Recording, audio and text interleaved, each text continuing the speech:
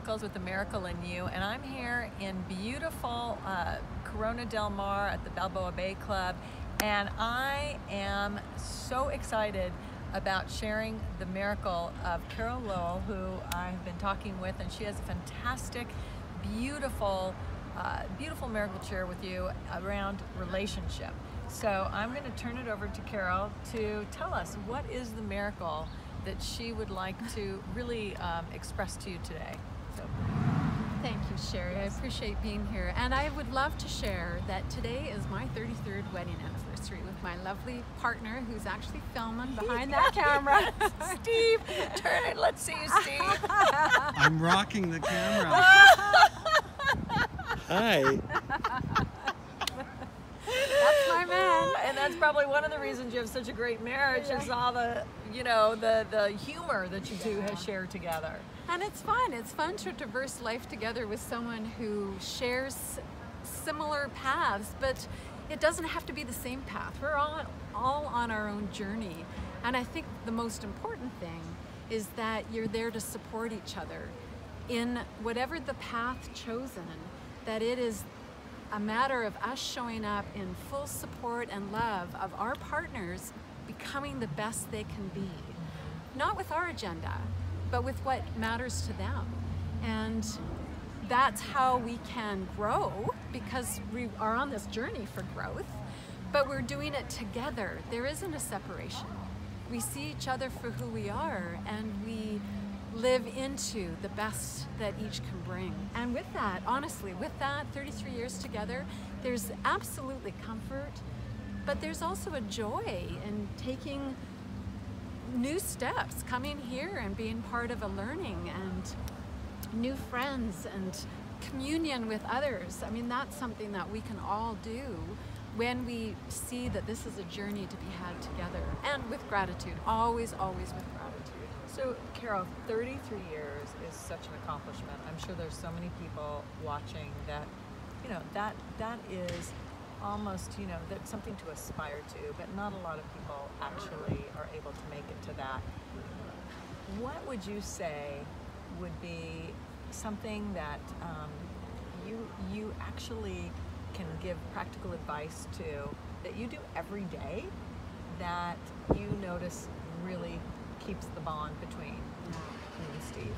Well, bottom line is gratitude. I mean, being thankful for the people we have in our lives. When our partners, I mean, with anybody, but for sure in a marriage, you can look at little things and you can allow those little things to become big. Mm-hmm. But do they really matter?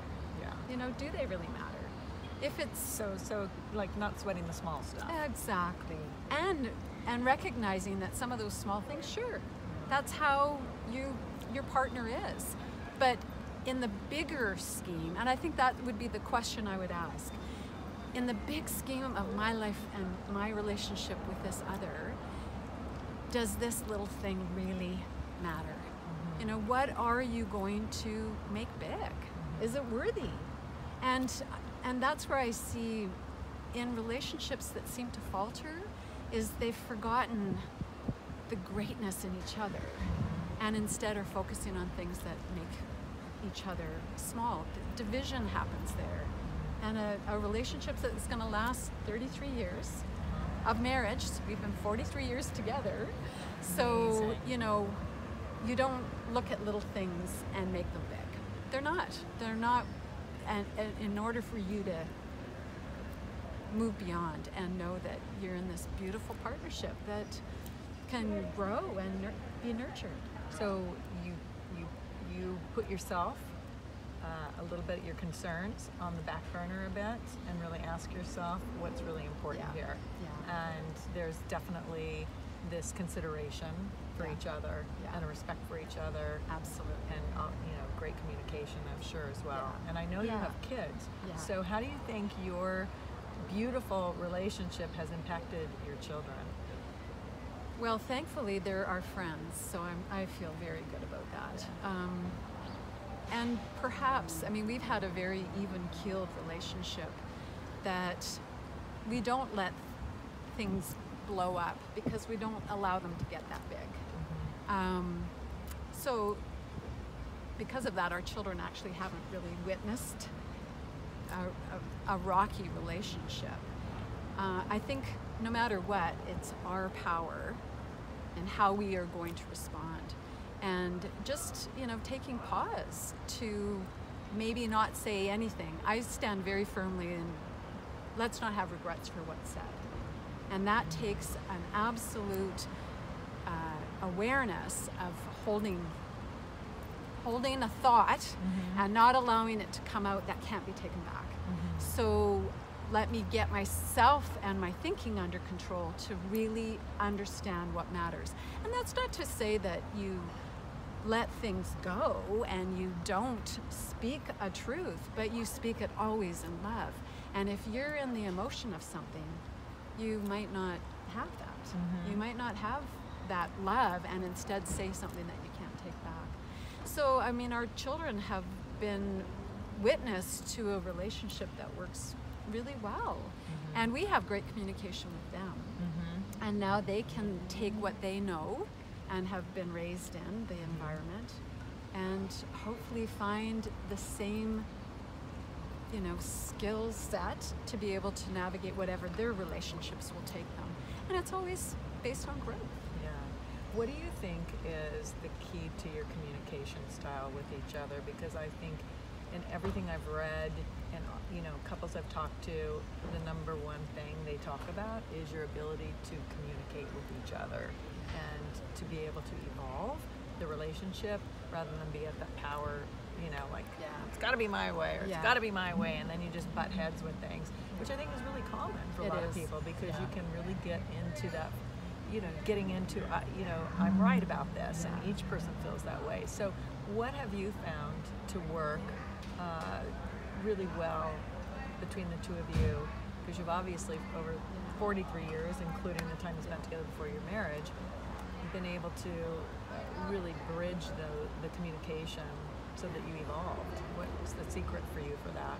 Well, again, back to ownership of ourselves. Okay. So, knowing what our truth is and being able to speak that truth, but always with love. So, if we are coming from a place that is very grounded within us and compromise, I mean, we're two individuals. Yeah. I mean, anytime we're in any relationship, having it our way is not always going to be what happens. And if that is our goal, we've forgotten the relationship. And I do have a saying that would I rather be right or would I rather be happy? Mm. Um, there are times where I will stand up for what I really, really believe in. If it matters when I evaluate how much does it matter to me, then I, I make, might not compromise, or at least I'll go deeper in having a discussion to see which way we might navigate. And honestly, in our relationship, um, the things that matter most seem to be not the same thing. Mm-hmm. So Steve will give and I will give. Uh-huh. And rarely are we at odds with one thing. Uh, but bottom line is you've got to be able to communicate it and you've got to be able to communicate it with love. That this isn't a, a, a skill set or a decision that has to be made that has to be divisive. It needs to be something that brings you closer together as you're making a decision that maybe has different points of view. But ultimately, to keep a relationship healthy, you have to be able to find, find the ground to have that common. Mm-hmm the common ground. And what does that mean to you to say to communicate with love? Well, it's not the I, I, I, or you know, you, you, you. I guess I yeah. should be saying. Yeah. I mean, it is about owning ourselves, right? Yeah. How we feel, whatever. It's not blame, blame, or labeling, or um, you know, bringing up stories that aren't about right now in this decision. And again, it's presencing to being here right now and anchoring in to what we know. And we are we're here and we're part of something much greater. So knowing that there's a power within us that is not this human body mm-hmm. allows us to connect to that greater self so that we can now connect with humanity whether it's our people or anyone, Yeah. that we can see them for who they truly are. And that is another person also wanting to have what they desire in their life. And so, compromise and consideration and total respect, and not seeing that there's any level of inequality. We are always equal, no matter who we are, our color, our sex, our age, any of that. We are spirit Beautiful. having a beautiful experience. Yeah. And if we're lucky, we can go 33 years. Here's to 33 more. Yes. yes.